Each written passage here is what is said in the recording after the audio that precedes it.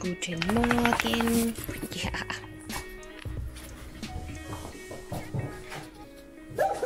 Hallo zusammen.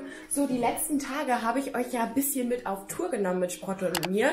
Also wir waren ja an der Ostsee und dann haben wir uns mit dem Hugo getroffen und Nina, was auch richtig cool war. Und das waren ja alles eher so, ja, Veranstaltungen außer der Reihe, also besondere Tage nenne ich es mal. Deswegen habe ich mir gedacht, nehme ich euch heute einfach mal mit zu einem oder auf einen ganz normalen Tag. Mit mir und Sprotte, also wie unser Alltag so aussieht, wie wir so in den Tag starten, wie das Büro- und Ladenleben bei uns läuft. Also, der Tag beginnt. Es ist jetzt kurz vor sieben. Ich habe meinen ersten Kaffee schon getrunken. Sprotte, ja, die tigert hier unten rum, muss erstmal noch wach werden. Denn wenn es nach Sprotte ginge, müssten wir jetzt nicht unbedingt vor 9 Uhr das Haus verlassen. Also, ich bin definitiv der Frühaufsteher von uns beiden. Nicht wahr, Sprotte? Bist du schon wach oder noch nicht so? Wie angewurzelt sitzt sie hier? ja, okay. Okay, ich würde sagen, sie ist wach. Deswegen können wir jetzt los. So, auf dem Weg zum Auto ist jetzt quasi auch Sprottes erster kleiner Spaziergang. Ähm, die Frage kam nämlich letztens auch schon mal öfter, wie ich das dann mache, ob ich, ob das direkt das erste ist, was ich tue, nachdem ich aufwache, ob ich direkt mit ihr raus muss. Ähm, das muss ich glücklicherweise nicht, äh, denn ich bin äh, meistens sehr früh wach und am Anfang bin ich da dann natürlich immer direkt mit ihr rausgegangen und mittlerweile guckt sie mich aber an, wenn es irgendwie so 6 Uhr noch was ist, zeigt sie mir einen Vogel. Da ist sie noch mega müde und da würde ich ihr keinen Gefallen mit tun, sie dann zu wecken und mir selbst auch nicht, denn sie ist definitiv ein Langschläfer, aber wenn sie dann einmal wach ist, dann ist sie auch wach. Deswegen geht es jetzt erstmal los. So, jetzt sitzen wir im Auto. Sprotte äh, hat eine Box im Kofferraum. Da ist quasi ihr Hut hinten drin. Und bevor wir jetzt aber ins Büro fahren, fahren wir erst nochmal in einen Park und gehen dann eine ganz große Runde spazieren. Ich liebe das immer morgens, wenn einfach noch nicht so viele Leute unterwegs sind und dann ist Sprotte schon mal schön ausgelastet und kann im Büro erstmal eine lange, lange Runde schlafen. Also wenn sie einmal am Tag dann ihren großen Spaziergang mit ein bisschen Toben und Tollen hatte und auch ein bisschen was für den Kopf gemacht hat, ist sie auf jeden Fall ausgelastet. Und das ist halt auch sehr schön, denn ja, wenn ich erstmal im Büro bin und der Laden dann auf ist, dann kann ich natürlich auch nicht so lange weg. Ja, deswegen finde ich das eine sehr schöne morgendliche Routine. So, wir sind jetzt unterwegs. Es ist herrliches Wetter. Wir haben es jetzt, ich weiß gar nicht, wie spät haben wir es? Kurz nach sieben, Viertel nach sieben, halb acht, irgendwie sowas. Und ja, ein sehr schöner Start in den Tag.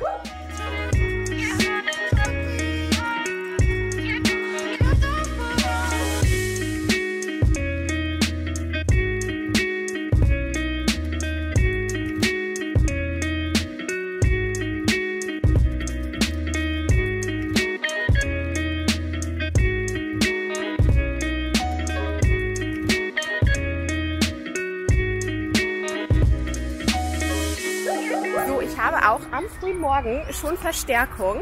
Das ist die liebe Stella. Und ja, da Stella auch so ein Frühaufsteher ist wie ich, gehen wir öfter mal vor der Arbeit einfach gemeinsam mit Sprotte spazieren. Wobei ich mir inzwischen manchmal nicht ganz sicher bin, geht sie eigentlich äh, spazieren, weil sie mich sehen will oder weil sie Sprotte sehen will? Weil ich euch beide sehen will. Na klar, na klar. hm, ich weiß nicht, ob ich das glauben kann, aber gut, lassen wir das mal so stehen.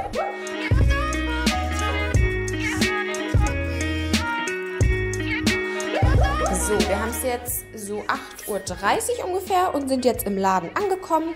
Und hier muss jetzt natürlich, bevor geöffnet wird, erstmal alles von Sprotte genauestens inspiziert werden, ob auch noch alles da ist. Und Sprotti, was meinst du? Ist noch alles so wie gestern? Ist noch alles so wie gestern? Ja, ich glaube, dass hier auch jemand langsam Hunger hat. Und die Snackbar riecht natürlich verlockend gut, nicht wahr? Deswegen ist es jetzt erstmal, glaube ich, Zeit für eine Schlemmerdose. Mal sehen, was es heute wird. Ja, wer die Wahl hat, nicht wahr? So, da wartet jemand ganz geduldig. Ist okay. Guten Appetit. So, lass es dir schmecken. Da gibt es jetzt eine leckere Dose Seelachs zum Frühstück. So, und während Sprotte jetzt ihr Frühstück genießt, werde ich mich hier auch langsam mal ausbreiten ähm, und meinen Arbeitsalltag beginnen. Und Sprotte wird sich dann wahrscheinlich hier auch gleich hinlegen. Sie hat hier neben meinem Schreibtisch eine kleine Box, wo sie sich zurückziehen kann. Und dann ist wahrscheinlich für die nächsten Stunden erstmal Schlafen angesagt. So, es ist jetzt wie spät ist es eigentlich? Halb zehn. Ich mache mich jetzt auf den Weg zu einem Termin, bei dem Sprotte jetzt ausnahmsweise mal nicht mitkommen kann. Ähm, ja, anfangs habe ich mich da immer richtig äh, schlecht gefühlt, sie dann alleine zu lassen. Mittlerweile bin ich da etwas entspannter geworden, da mir bewusst ist, dass das schon ein Riesenglück ist, dass ich sie jeden Tag mit zur Arbeit mit ins Büro nehmen kann. Und da kann sie dann auch einfach mal für ein paar Stündchen alleine bleiben. Das stört sie auch zum Glück gar nicht. Die schläft dann meistens und ja, findet das gar nicht so schlimm, dass sie dann eben alleine ist. Genau, also ich melde mich später wieder. So, und so sieht dann der harte Alltag eines Bürohundes aus. Sie macht hier gerade Pause auf meinem Schoß. Hoch. Na, wo bist du denn? Da. Und ist sehr, sehr müde, ne? Ja, so müde. So müde, so ein anstrengendes Leben hier im Laden, ne? Im Hundeladen und im Büro ist es so anstrengend. Also ihr seht, sie hat es nicht leicht. So, ich bin jetzt wieder da von meinem Termin. Also es wird Zeit, um nochmal eine Pipi-Pause mit Sprotte einzulegen.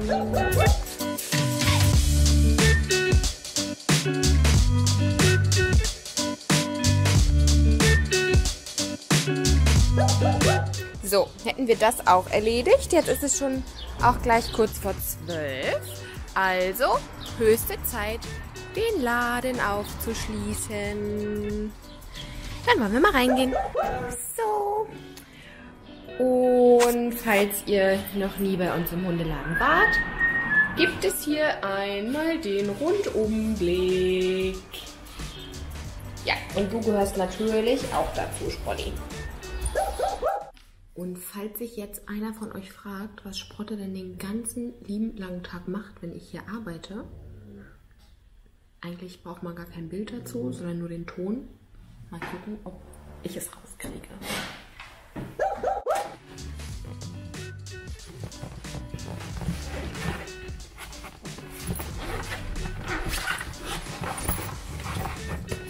Na, Schneichnase? Habe ich dich geweckt? Entschuldigung. Entschuldigung. Jetzt habe ich natürlich den großen Fehler begangen und habe sie geweckt. Sorry, Sprotte. So, Sprotte und ich haben Feierabend gemacht und ich sitze schon umgezogen im Auto, denn jetzt geht es für mich nochmal raus aus Berlin ähm, zu den Pferden, denn wer uns vielleicht schon eine Weile verfolgt, der weiß auch, dass Josi und ich beide ganz, ganz, ganz, ganz dolle Pferdemädchen, kann man das so sagen? Ja, wir reiten halt schon jahrelang und ja, bei mir ist es halt so, dass ich zweimal die Woche ungefähr in den Stall fahre und heute Abend ist es wieder soweit. Sprotte ist im Kofferraum, es ist jetzt ungefähr so eine halbe Stunde Fahrt. Autofahren macht ihr zum Glück überhaupt gar nichts aus. Da pennt sie jetzt wieder, denn wir waren eben nochmal eine Runde spazieren. Und ja, im Stall werde ich aber die Kamera vermutlich nicht mitnehmen, denn es ist heute tatsächlich das erste Mal für Sprotte, dass sie mit in den Stall kommt. Deswegen will ich ihr da natürlich meine ganze Aufmerksamkeit widmen und nicht irgendwie mit Filmen beschäftigt sein. Aber ich berichte natürlich, wie das Ganze verlaufen ist und werde bestimmt auch irgendwann in den nächsten Wochen mal die Kamera mit zum Stall nehmen und auch ein bisschen Sprotte mit Pferd filmen. Also ich bin super gespannt, was sie dazu sagt. So, etwas zerstört. Und spät am Abend bin ich nun wieder zu Hause angekommen, beziehungsweise sitze noch im Auto und werde gleich hochgehen. Wir haben es jetzt fast 22 Uhr. Ähm, Sprotte schläft im Kofferraum.